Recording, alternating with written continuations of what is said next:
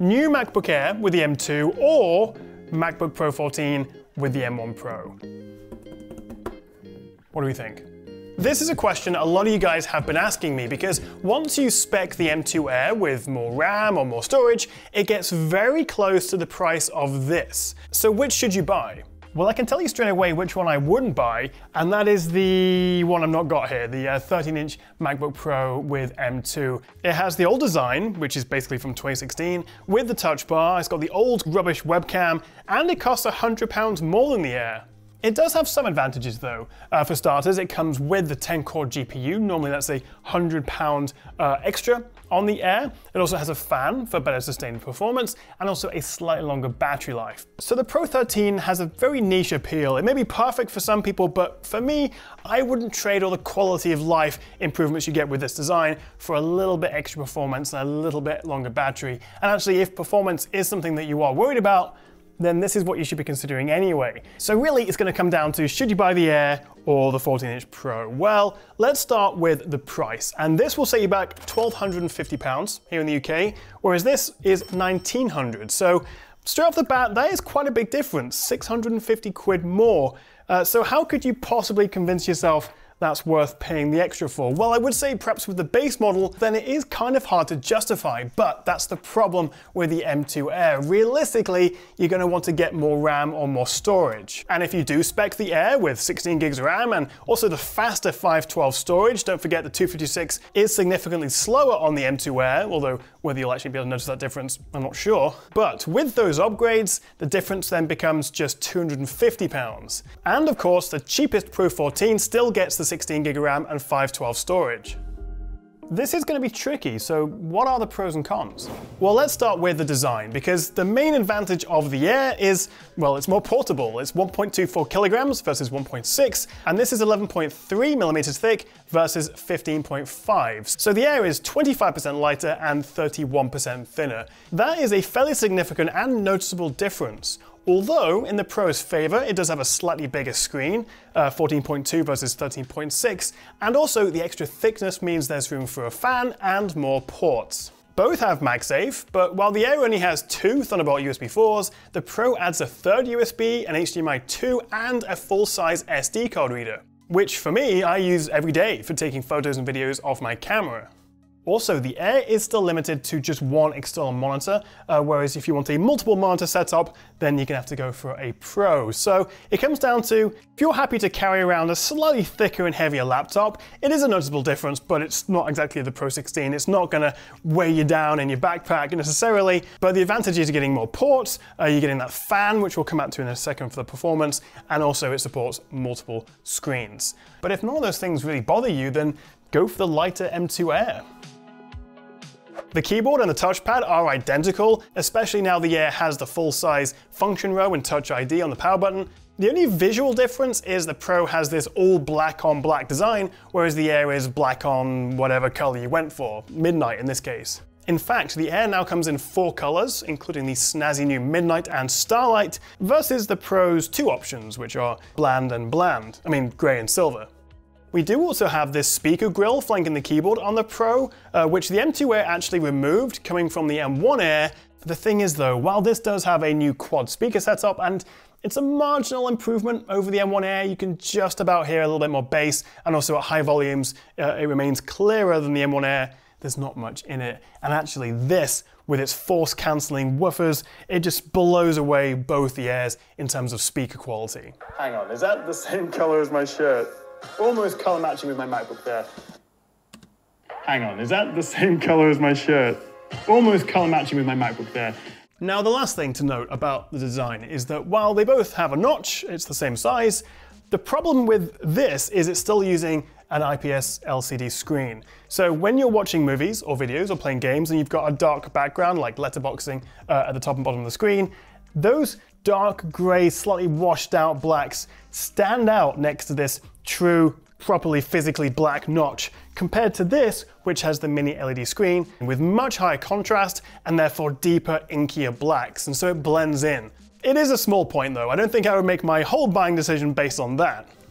But whichever laptop you choose, make sure you also pair it with a good VPN. Now I use Surfshark, who are a long-term sponsor of the channel, and it's one of the first apps I download on any new phone, laptop, or even in my Chrome browser. You can get it for pretty much every platform, and also one account lets you use an unlimited number of devices. So as you know, there's a whole bunch of reasons you might want to use a VPN, including letting you access region-locked content, but for me it's more about the safety aspect. And Surfshark's Clean Web tool helps prevent tracking and ads and malware and all that nasty stuff. So whenever I'm logging into my bank or my email or just my YouTube account, whatever I'm doing, I know it's safer because I'm using Surfshark VPN. The best bit though is if you use the code TechChap at the checkout, you can get 83% off and 3 months extra for free. And there's also a 30-day money-back guarantee. So click the link in the description below and give Surfshark VPN a try. What I might base my buying decision on though, or at least a significant part of it, is the screen. This is a big reason to go for the Pro. It's mini LED, which as I say means much higher contrast and also much higher brightness. It's HDR and we get ProMotion, so up to a 120Hz refresh rate. The 14 Pro just has a better screen in every sense. And firstly, in terms of brightness, according to Apple, in SDR content, so everything that isn't HDR, these both should be 500 nits. That's one of the upgrades with the Air from 400 to 500. So that should be about the same. But actually, uh, with my Lux meter, wherever it's gone, I measured 462 nits on the Air versus 491 on the Pros. So even that everyday SDR level of brightness seems to be a touch higher on the Pro. But then, when you do fire up an HDR video, movie, game, whether you're playing it or editing, this isn't a whole other league, with a peak brightness of 1502 nits, according to my Lux meter. Now normally what I would say is, how often are you really going to watch or play stuff in HDR? Most of the time, when you're on the UI, when you're in you know, websites doing everyday stuff, it's SDR, so they're both going to be around 500 nits, thereabouts. Well, let me introduce you to this little app called Vivid.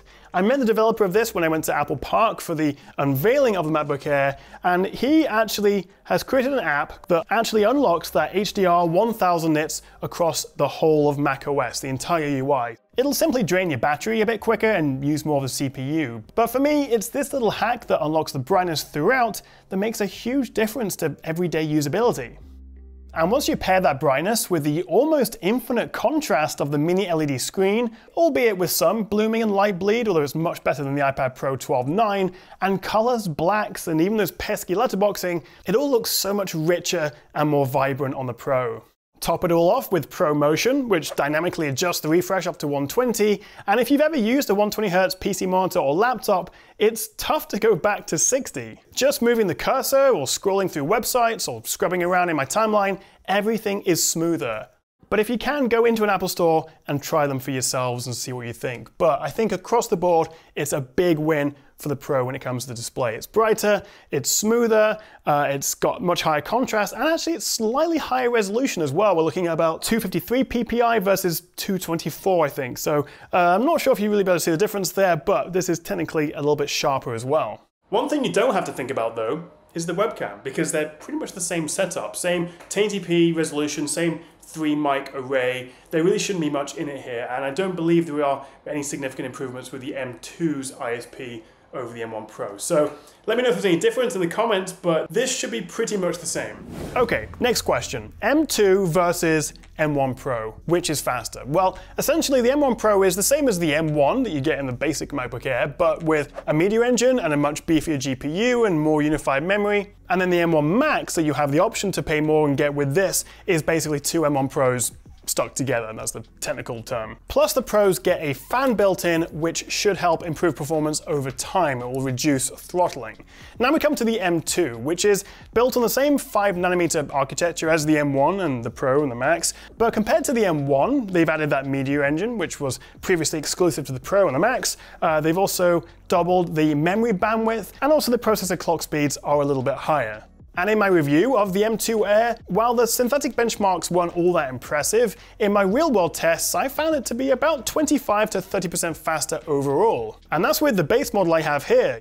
But we are not talking about the M1 Air, we are talking about the M2 versus the M1 Pro. And in single core, the M2 is actually 5% faster on average. However, the M1 Pro is a more substantial 18% faster in multi-core. And it's also about 10% faster in Passmark, which isn't really a significant upgrade, but if we then bring in the 3D Mark Wildlife graphics test, here we're looking at a 36% uptick.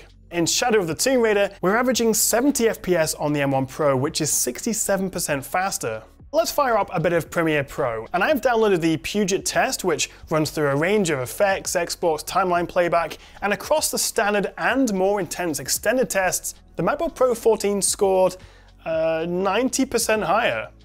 That can't be right, 90%. Well, the reason there, I think, is because this has that ProMotion 120Hz screen, and in that Puget test, that actually factors into the live playback score, which arguably makes sense because you are getting a smoother visual experience when you're using this, but I don't think it's really fair when it comes to comparing the hardware. So dropping this down to 60 Hertz, so uh, they are level, and running the tests again, we're still seeing a significant 63% jump on average.